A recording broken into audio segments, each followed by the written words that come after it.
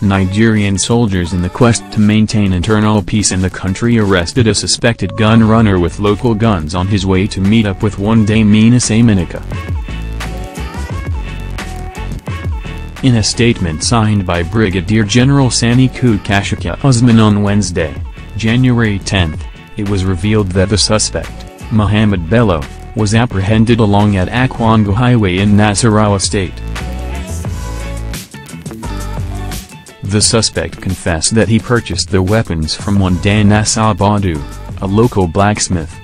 On getting to his place, the soldiers discovered a gun manufacturing factory where he has been producing firearms for criminals. The suspects were all arrested and according to the army will be handed over to relevant security agencies soon troops of Nigerian Army on internal security operations deployed at Akwanga Highway Nasarawa State, today Wednesday 10 January 2018, arrested a suspected gun runner, Muhammad Bello, in an Opel Vectra saloon car with the fabricated guns heading to Samanika to link up with his gang leader Damina Samanika.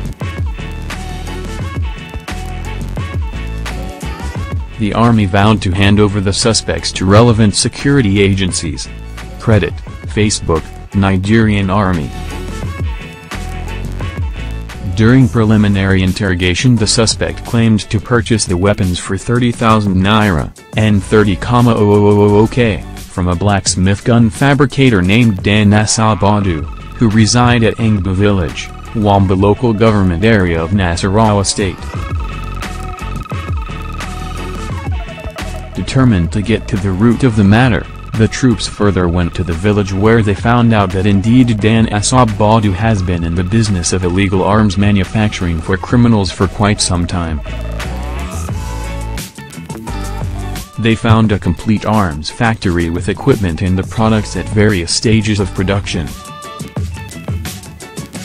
Specifically, the troops recovered three completely locally fabricated guns. 20 locally fabricated guns at various stages of production, 7 units of 9mm empty cases, 1 9mm blank ammunition, 2 drilling machine, 1 power generating set and 3 mobile telephone handsets.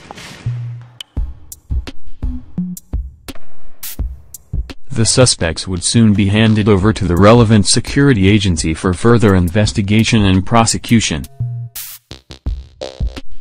The public is kindly requested to provide useful information that will assist the military and security agencies in apprehending such criminals to make our society safe.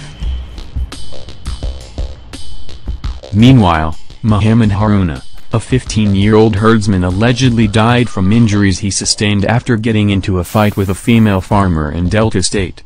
According to a report in Southern City News, as quoted by Punch, the incident took place last week.